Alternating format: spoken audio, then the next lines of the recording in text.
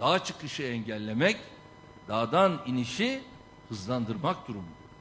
Herhangi bir eyleme, olaya karışmamış olanların inanıyorum ki anasının babasının yanına dönmesi birçok şu anda ızdırap içinde olanları da bu ızdıraptan kurtaracaktır.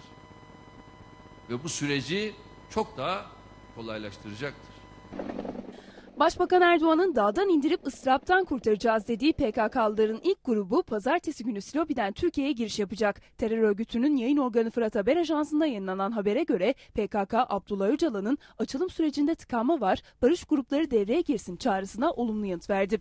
Avrupa ile Mahmur ve Kandil kamplarından 3 ayrı PKK'lı grup Türkiye'ye gönderilecek. Alınan bilgilere göre Türkiye'ye gelip teslim olacak gruba katılmak için Mahmur kampında 400'den fazla PKK'lı başvuruda bulundu. Bunlar arasında arasından 20-25 kişilik bir grup belirlendi. Bu kişiler aile, genç ve öğrencilerden seçildi. DTP Türkiye'ye gelip teslim olacak ilk PKK'lı grubu Silopi'de karşılamaya hazırlanıyor. DTP eş başkanları Ahmet Türk ve Emine Ayna ortak yazılı açıklama yaparak PKK'nın bu girişiminin istismar edilmemesini ve sürece dağdakileri tasfiye mantığıyla yaklaşılmamasını istediler. Bu tarihi nitelikteki adımın doğru okunması ve iyi değerlendirilmesi gerekmektedir. Eğer sürece olumlu yaklaşılır ve cesur adımlar atılırsa Türkiye'nin önü açılacaktır.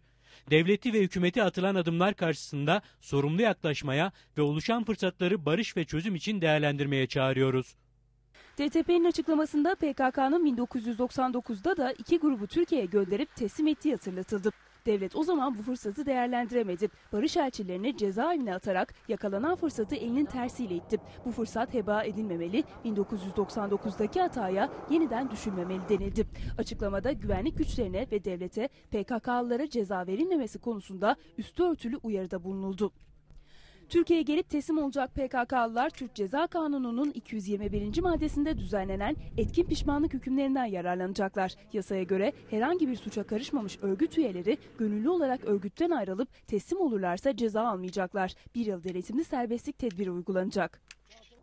İlk grubun ardından Avrupa ve Kandil'den üst düzey isimlerin de Türkiye'ye gelip teslim olması bekleniyor.